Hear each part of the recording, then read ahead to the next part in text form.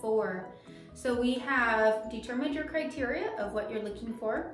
We have determined and secured your method of financing and you have picked your realtor. So the important part of step four is we gotta wanna kind of bring all of that together for what's called a buyer consultation.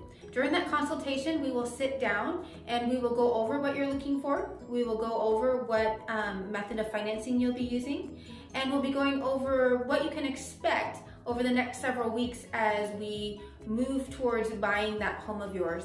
So this is a very important step uh, and sometimes overlooked step because we want to make sure that we're aligned with you so that we can help you to accomplish everything that you want and get what you want in the time frame that you're looking for.